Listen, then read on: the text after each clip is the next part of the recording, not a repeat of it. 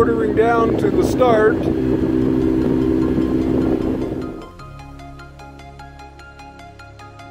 And we're headed for number two.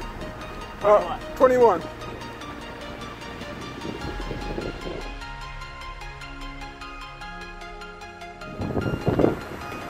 Rounded four and heading down the bay. Good wind and on a broad beam reach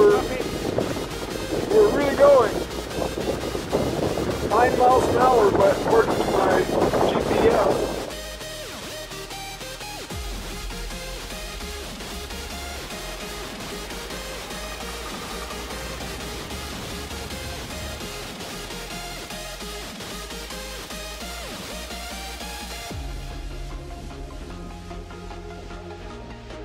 dock after a record passage of one hour nine minutes and uh, some odd change.